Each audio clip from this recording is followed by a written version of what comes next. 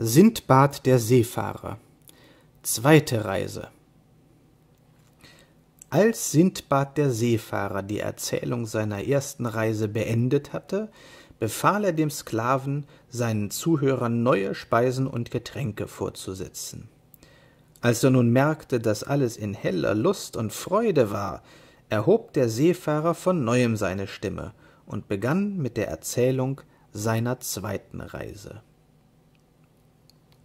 Wisset, meine edlen Herren, dass ich nun ein Leben in Zurückgezogenheit und Andacht führte und nur mit Schrecken an die Abenteuer meiner ersten Fahrt zurückdachte. So ging es eine Zeit, bis es mich eines Tages wieder packte. Ich verließ mein Haus. Meine Seele, die von Sehnsucht erfüllt war, zog mich wieder hinaus auf das Wasser. Mit einer Anzahl Kaufleuten fuhr ich fort, um, wie ich mich selbst zu täuschen versuchte, Tauschhandel in aller Welt zu betreiben. In Wirklichkeit aber war es das Meer, das mich lockte. So segelten wir eine Zeit lang, bis wir an eine hübsche Insel gelangten, aus deren dunklem Laubbestand Früchte in scharlachner Reife schillerten, Blumen dufteten, Vögel in süßen Weisen sangen und der Bäche Spiegel flimmerten. Wir gingen alle Mann an Land. Wohl war ich in Erinnerung der Insel meiner ersten Fahrt vorsichtig geworden. Ich prüfte die Erde auf das genaueste, damit mir ein ähnliches Schicksal nicht widerfahren konnte. Dieses Mal war es ein wirkliches Land. Doch bei meinem Studiengang durch die Insel hatten mich die anderen Passagiere aus den Augen verloren. Als ich mir der neuen Gefahr kaum bewusst wurde, war das Unglück auch schon geschehen. Mein Kapitän war in dem Glauben davon gefahren, ich sei in meiner Kajüte. So war ich wieder dem Seeteufel, der mich auf einsamer Insel in seinem unermeßlichen Reiche gefangen hatte, auf Gnade und Ungnade ausgeliefert.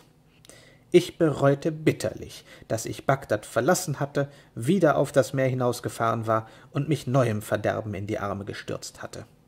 Von einem hohen Baume aus hielt ich nach rechts und links Ausschau. Als ich schärfer ausspähte, bemerkte ich einen großen weißen Gegenstand in der Ferne. Ich verließ den Gipfel des Baumes und ging auf das leuchtende Etwas zu, bis ich es erreicht hatte. Und siehe da, es war eine große, hoch in die Luft ragende weiße Kuppel von mächtigem Umfang. Als ich mir noch den Kopf zerbrach, was es mit diesem gewaltigen Bau für eine Bewandtnis haben könnte, an dem ich keinen Eingang zu entdecken vermochte, ging der Tag bereits zur Neige und die Sonne näherte sich ihrem Untergang. Plötzlich verfinsterten sich die letzten Sonnenstrahlen und verhüllten sich vor meinen Augen. Zuerst glaubte ich, es sei eine Wolke, doch als ich meine Blicke zum Himmel erhob, sah ich einen riesigen Vogel von gewaltigem Leibesumfang und weit klafternden Schwingen.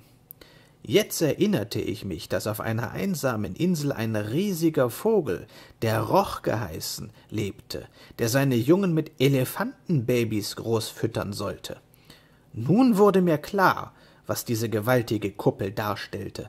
Es war das Ei dieses Riesenvogels.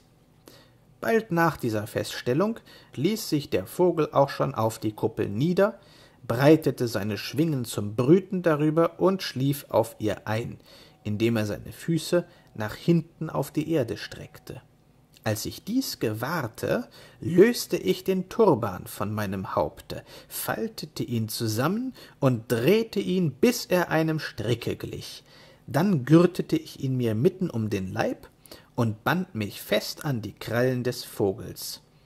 Vielleicht wird er mich in ein Land mit Städten und Bewohnern tragen, was besser sein wird, als hier auf dieser Insel einsam gefallen zu sitzen. Ich hatte richtig gedacht.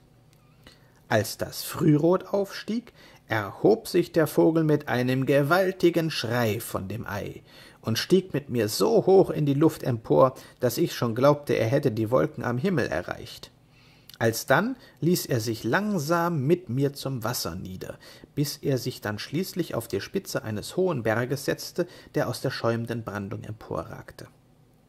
Sobald ich den Boden erreicht hatte, löste ich schnell, vor Angst zitternd, wiewohl der Vogel nichts von mir merkte, meinen Turban von seinen Füßen und machte mich aus dem Staube. Der Vogel aber packte nun etwas von der Erde mit seinen Klauen und stieg wieder zu den Wolken des Himmels empor. Als ich den Gegenstand ins Auge fasste, sah ich, dass es eine Schlange von ungeheurer Länge war. Verwundert hierüber schritt ich weiter und gewahrte, dass ich mich am Eingang einer Schlucht befand, deren Tadelboden von riesigen Haufen faustgroßer Diamanten übersät war. Es glitzerte derartig, dass meine Augen schmerzten. Darum schlich ich mich mit geschlossenen Augen hinein und griff so viel von dem funkelnden Edelgestein, als meine Taschen nur tragen konnten. Erst jetzt bemerkte ich, dass es um mich herum raschelte und zischte, ich riß meine Augen auf und sah mit Entsetzen, dass der ganze Talgrund von Schlangen und Vipern wimmelte, von denen jede einzelne so lang war wie ein Palmenbaum. Wie durch ein Wunder entkam ich diesen gräßlichen Ungeheuern. Nun wusste ich, woher der Vogelroch seine Nahrung holte. Als ich, glücklich dem Tod entronnen, wieder in freier Luft auf des Berges Gipfel stand, sah ich mit freudiger Genugtuung, dass sich eine Fregatte dem Eiland näherte. Es waren Kauffahrer, vielmehr Glücksritter, die in ihrem Äußeren nicht gerade sehr vertrauenerweckend aussahen. Sie hatten von dem Schatz dieser Insel gehört und wollten sich nach ihren Aussagen auf die Suche begeben. Da ich den Undank und die Habgier der Menschen kenne, verheimlichte ich ihnen meinen Fund und beteuerte, dass ich seit einem Monat mit Aufwand aller Energie und Findigkeit am Werke sei, diesen vermeintlichen Schatz aufzuspüren. Alles sei nur ein albernes Ammenmärchen. Sie schenkten mir Glauben, fuhren von dannen und brachten mich in meine Heimat zurück. Die Beute aber, die ich dem Seeteufel, der mich wieder mal leimen wollte, abgerungen hatte, betrug das Hundertfache meiner gesamten Habe.